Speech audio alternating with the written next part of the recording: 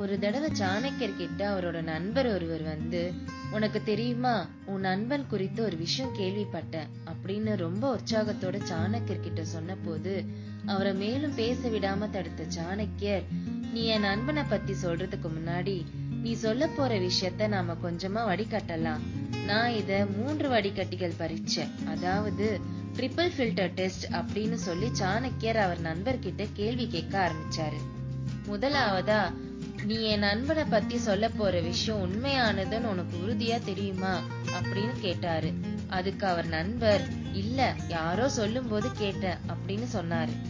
அப்போ நீ சொல்ல போற விஷயம் உண்மையானதுன்னு உனக்கு உறுதியா தெரியாது அப்படின்னு சாணக்கிய சொன்னாரு. ரெண்டாவதா நீ என் நண்பனை பத்தி சொல்ல போற விஷயம் நல்ல விஷயமா இல்ல கெட்ட விஷயமா? அப்படின்னு சாணக்கியர் கேட்டாரு. இதுக்கு அவர் நண்பர் இல்லன்னு பதில் சொன்னாரு. அப்படின்னா நீ என் நண்பனை பத்தி கெட்ட விஷயம் சொல்லலான்னு வந்திருக்க. அதுவும் அது உண்மைன்னு உனக்கு உறுதியா தெரியாத பட்சத்துல அப்படின்னு சாணக்கியர் கேட்டாரு. சரி இப்ப மூணாவது கேள்விக்கு போகலாம்னு சொல்லி சாணக்கியர் மூணாவது கேள்வியை கேட்க ஆரம்பிச்சாரு. நீ என் நண்பனை பத்தி சொல்ல போற விஷயம் எனக்கு உபயோகமானதா அப்படின்னு சாணக்கியர் கேட்டாரு. அதுக்கு அவர் நண்பர் இல்லன்னு சொன்னாரு.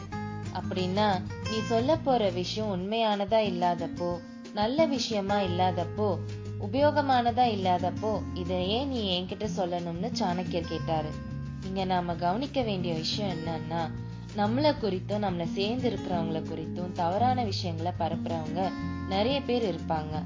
ஒரு விஷயத்த கேக்குறதுக்கு முன்னாடி இந்த மூணு கேள்விகளை நாம கேட்டுக்கிட்டா நம்ம சொந்தங்கள் பலப்படும். நல்ல பலன் கிடைக்கும். வேலை வெட்டி செய்யாம சும்மா புரளி பேசுறவங்களையும் நல்ல விதமா மாத்தலாம்னு சாணக்கியர் இந்த மூணு கேள்விகள் மூலமா நமக்கு தெரியப்படுத்தியிருக்காரு. மேலும் இது போல பல வீடியோஸ் உங்களுக்கு வேணும்னா ப்ளீஸ் சப்ஸ்கிரைப் அவர் சேனல்